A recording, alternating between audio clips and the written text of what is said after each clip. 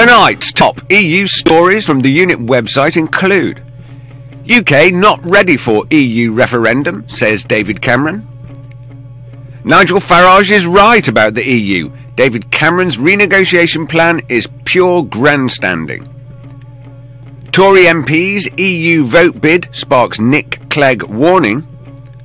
And EU lawmakers urge action on energy prices to save the steel sector. Plus, in your letters, Star Etheridge writes, the tripartite known as the Lib Lab Con. I'm Rick Timmis, and this is the Unit Nightly News.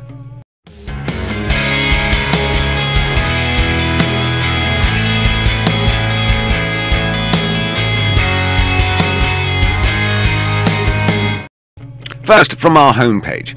The British public do not want a referendum on EU membership yet because it would be an unfair choice between an unsatisfactory relationship and the exit door, David Cameron has said. The Prime Minister slapped down a Conservative MP calling for an EU referendum next year, saying it would not be sensible to hold a poll before he had had a chance to push for reforms in Brussels. Speaking in York, Cameron said the public did not want a referendum yet because they did not have a proper choice. Adam Afriyie, the Tory backbencher, is pushing for a referendum next year, claiming voters want to have a say before the next election. He has tabled an, an amendment to the Tory backed EU referendum bill that promises a vote by the end of 2017. Well, friends, is it not exactly as I predicted last Wednesday? Chairman Cameron has immediately attempted to crush this move for democracy. In fact, the words are different, but the rhetoric from Le Bon Premier is the same as last Friday's story, where the EU stated the EU cannot allow a referendum in Britain because it risks losing a key member from the bloc. So, who then is Mr Cameron acting on behalf of? He says the British public do not want a referendum. Lies, complete lies. The pocket puppet of the basket case Barroso is lying. He was handed, outside 10 Downing Street, a petition with over 120,000 signatures from the British public who wanted a referendum on Europe, and he whipped Parliament to quash the motion. He is doing exactly the same with this amendment. This is an affray in the face of democracy, and Chairman Cameron should be ashamed of himself.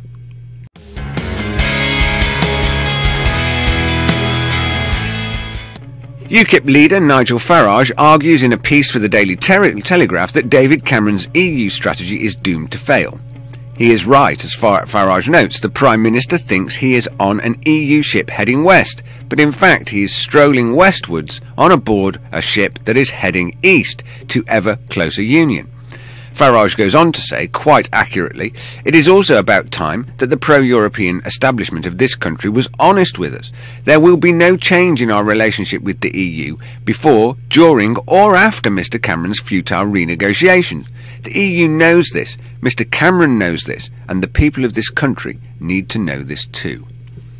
Well, don't forget, folks, we're going to be looking at this issue in depth on our live show, Critical Thinking, later this week.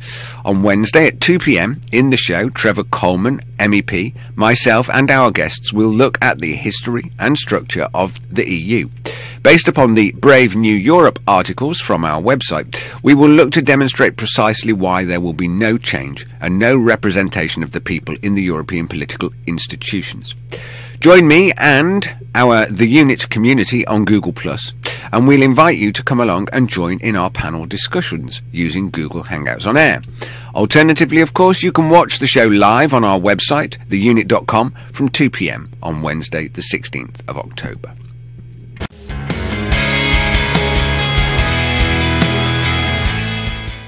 It's time to challenge the myths about leaving the European Union, says Lib Dem leader. Leaving the European Union would be economic suicide. Deputy Prime Minister Nick Clegg will warn today as he takes on UKIP and Conservative Eurosceptic calls to quit the EU. The Liberal Democrat leader's call to arms follows Tory MP Adam Afriyie's surprise announcement that he would seek a Commons vote on a 2014 in-out referendum. Mr. Afriyie's move sparked fears among Conservatives that a leadership backed private members bill designed to place the 2017 referendum guarantee on the statute book could be scuppered. Well, where is the evidence? This is one of my favourite statements, and it's always the first question that should be asked of any statement. Nick Clegg talks of economic suicide if we leave the EU. Well, where is the evidence? Perhaps it's the line that Britain exports over 80% of its output to the EU. Well, that's not true. Andrew Fear researched this in detail, and it turns out that all outbound shipping goes via the port of Rotterdam, and that everything transiting through the port is counted as EU exports, even if it is bound for destinations outside of the EU. Ian Milne, an independent economist, has written volumes on the potential for Britain to trade globally, and his conclusions have always sided against EU membership. And finally, we have real world examples that this is simply more lies. Look at Norway. The country thrives outside the EU. And Iceland has actively rejected the EU because its economy is doing well outside of it. Mr. Clegg, you are lying, sir, and you are hoping that the British public won't ask the very question where is the evidence? Friends, our political leaders are nothing but a den of vipers, lying and deceiving with only their own personal interests at heart. In the words of a once great American president, we intend to rout you out and by the grace of God, we will rout you out.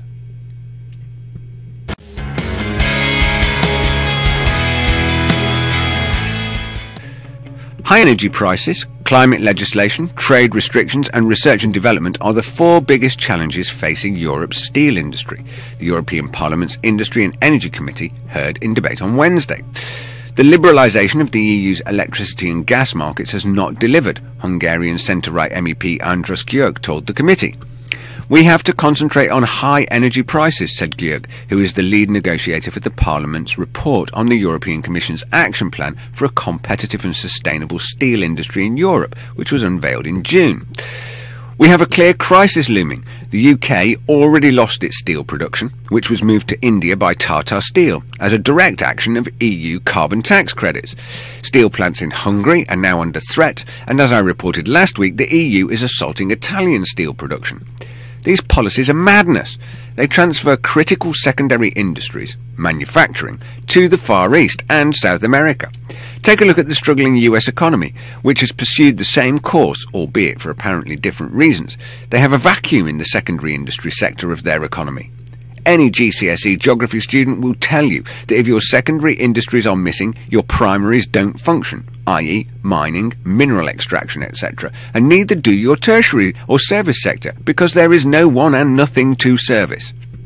So if Nick Clegg wants to talk about economic suicide, then this EU strategy would be a good place to start, because at least there is evidence to support his claim.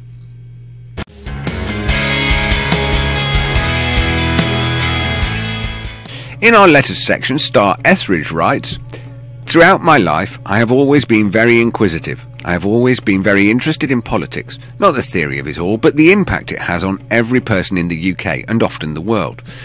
I have seen Labour governments, Tory governments, and now this sheer abomination of a coalition government. I have seen how administration after administration have been led towards bringing about the complete downfall of our nation. They've entrenched us deeper and further entwined into an almost federal state of Europe. So the only option is for the people to take back control of their country. However, to do so, it will require people to vote for any other party than the tripartite known as the Lib Lab Con. They are not three disparate parties that are actually different factors of the same agenda. Now, many thanks to Star um, for this brilliant piece of writing, and please do keep your letters coming in to us.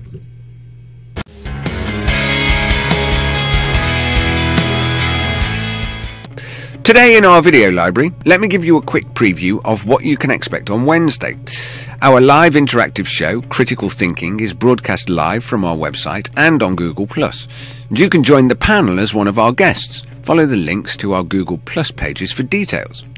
You can, of course, interact using Twitter, ask your question by using the hashtag TheUnit.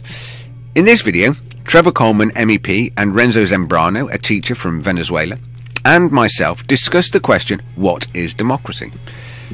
This Wednesday, we'll be discussing the history and structure of the European Union, and I hope that you will be able to join us.